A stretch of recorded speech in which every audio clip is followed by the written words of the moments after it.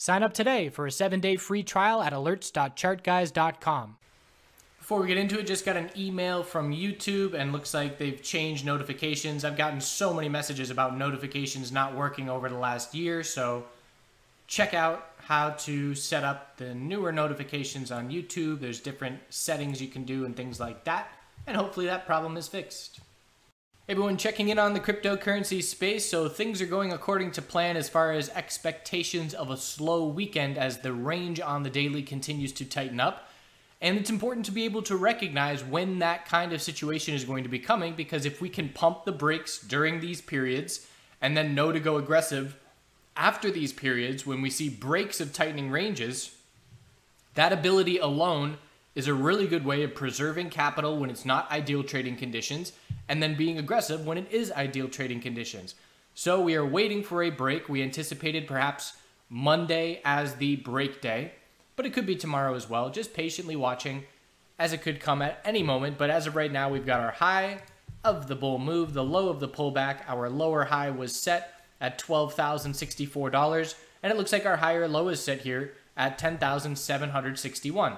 So again, we could see a break within the next 24 hours, but we would need to see a volume spike. Look at the volume drop off the last five days in a row. If we see a bear break of 10,761 for the bears to get convincing follow through, they need to break the low of 9651. And likewise, if the bulls see a break of 12,064, they need to see a break of 12,444 and then 13.8. So this isn't my ideal kind of equilibrium. My ideal equilibrium would have a wider range and take longer to tighten up. So if I were going to be able to choose what I wanted, which obviously I can't, I would want something along the lines of this. Now, why would I want something along the lines of that? Because it would be more clear. There would be more range to play within the tightening pattern, so we can still trade within tightening patterns. But most importantly is when the break does occur from a really tight equilibrium, on this single bull move, you break, or bear move, you break multiple resistance or support levels, and it's very convincing. Everybody is on board and saying, yep, that's our break. And if we can just go to gold for a second, a lot of people have been watching gold, but gold was in a multiple year monthly equilibrium that we were watching.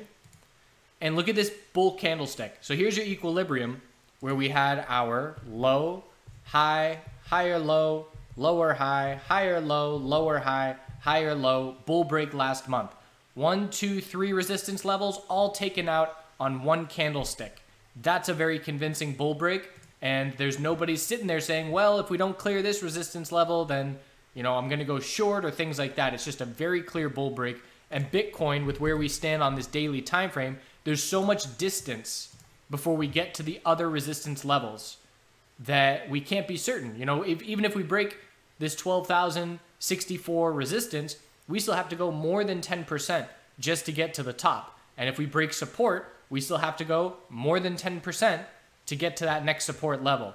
So there is a scenario where if we break some of these resistance levels, we don't get significant follow through and it's a, a, bit less clear. So we'll have to see how it plays out.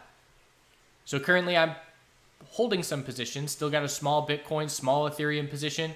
I will probably add a bit if we get a bull break, but again, this is not my ideal kind of equilibrium, so that tells me be less aggressive. If it were my ideal kind of equilibrium, maybe I go all in on the break when it occurs. If it's not, maybe I only use half of my capital. So again, knowing when to pump the brakes or go aggressive is very important as a trader. So what Bitcoin is doing right now in the short term, this is showing me that there's some bots, there's some sell bots set up.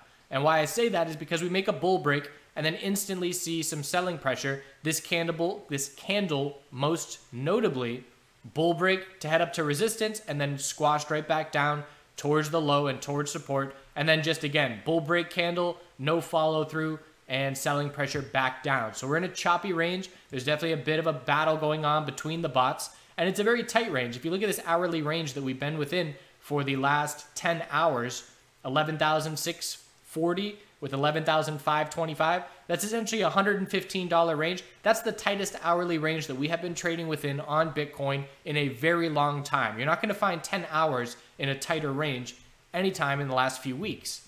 So choppy short-term action, which means zoom out for clarity. And I'm looking at the four hour time frame. We had a double bottom and a bull break. That bull break didn't get much follow through. So again, we've been watching the 12 hour time frame. That's where it's a bit more clear. We've got our low of the pullback, high of the bounce, higher low, anything under 12,064, just a lower high, and seeing a clear tightening range forming. So patiently waiting, I will exit all of my positions if 10,761 were to break. And that's the rundown on Bitcoin. Ethereum on the daily time frame, we're still watching this descending triangle pattern with essentially a double bottom of support and then just clear lower highs of resistance as we work our way down. 304 is our last lower high. We held support and we're tightening up here as well. So a clear bear break would be under 270 and a clear bull break would be over 304 at this point. You can see the volume consistently dropping off and we're just patiently waiting for the break sometime within the next probably 48 hours or so. And with where we're set up on the ETH BTC chart right now, the bears have favor. We're still in a very clear downtrend. We did see a bit of a double bottom, and it's almost the same pattern. If we look at the USD chart one more time, pretty much almost a double bottom, real tightening range, clear lower highs, and ETH BTC is doing the same thing. So we have a new resistance at 2642, support is 2482. Worst case scenario for Ethereum bulls is a bear break of the US dollar chart under 270 and a bear break of this BTC pairing chart, which is still in a clear downtrend with daily exponential resistance. Litecoin on the daily time frame is a bit more of a clear equilibrium with a bit more range in between support and resistance.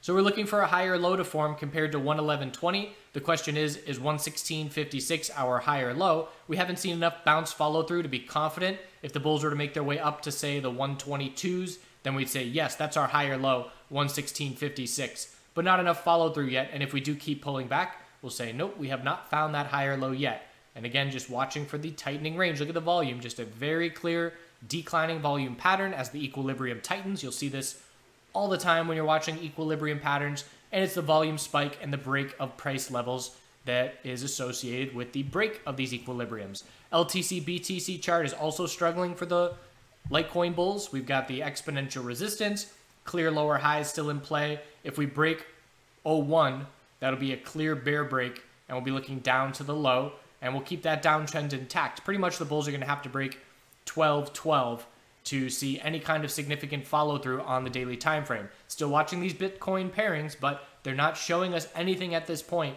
that would have me wanting to play Litecoin or Ethereum over Bitcoin with how they are currently set up. Change those daily trends and that will change our tune, but until that happens, Bitcoin is remaining king at this point.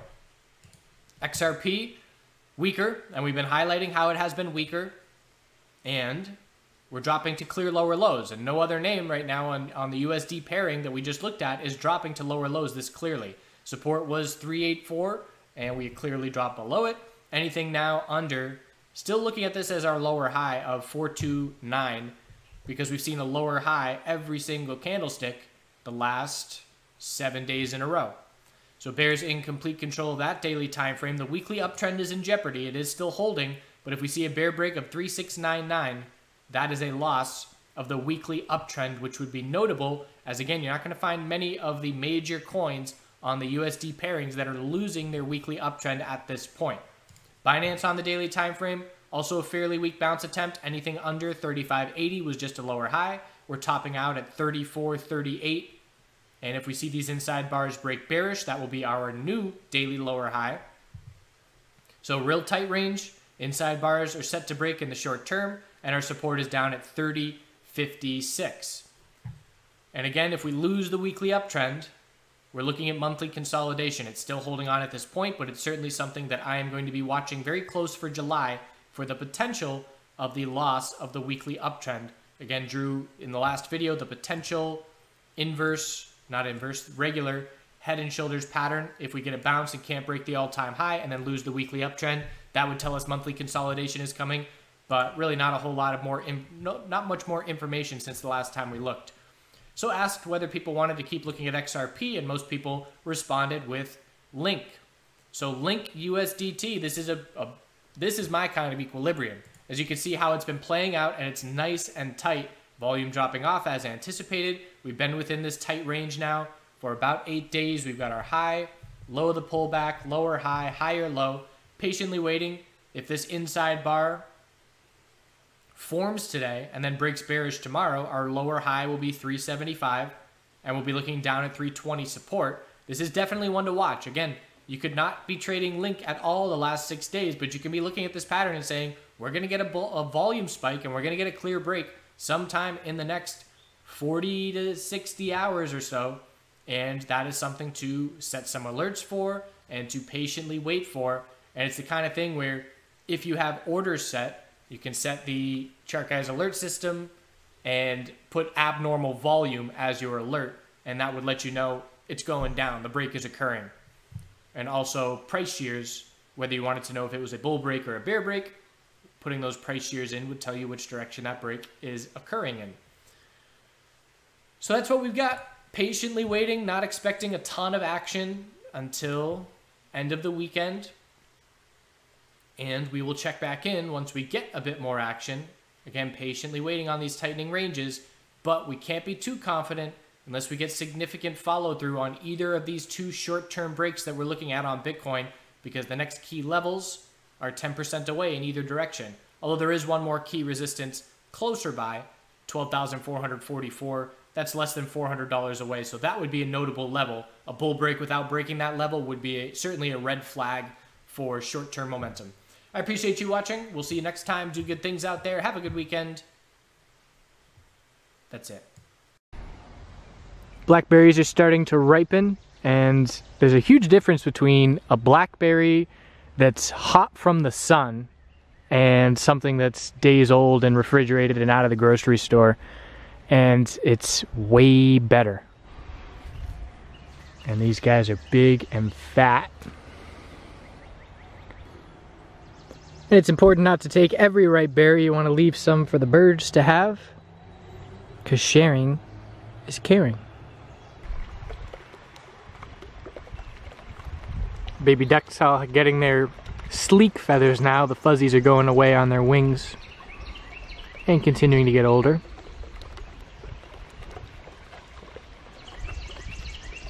come in to say hello.